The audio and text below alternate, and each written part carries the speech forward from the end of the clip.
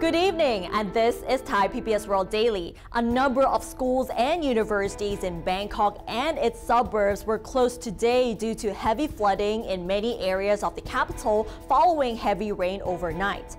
Many bus commuters were left stranded late last night due to a shortage of public transport, including buses and taxis, which were stuck in gridlocked traffic due to the flooding. Suspended Prime Minister Prayut Chan-o-cha has insisted that his eight-year term in office did not expire on August 24th because it should be counted from when the 2017 constitution came into force on April 6th of that year.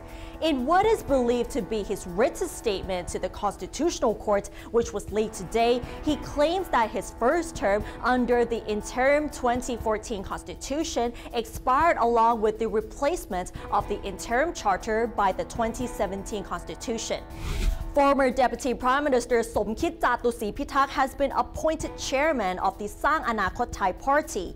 Dr. Somkid will also join the meeting tomorrow, which will be a general assembly of the party's executive committee and about 300 potential candidates from across the country to prepare for the next general election.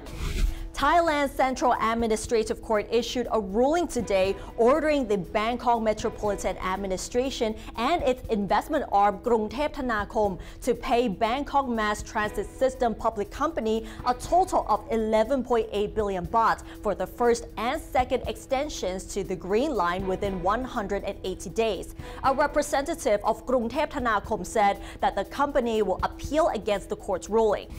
The State Railway of Thailand has launched a trial run of used train carriages donated by Japan and refurbished by the SRT on the Bangkok Chachoengsao route before full operation is expected to begin at the end of this year.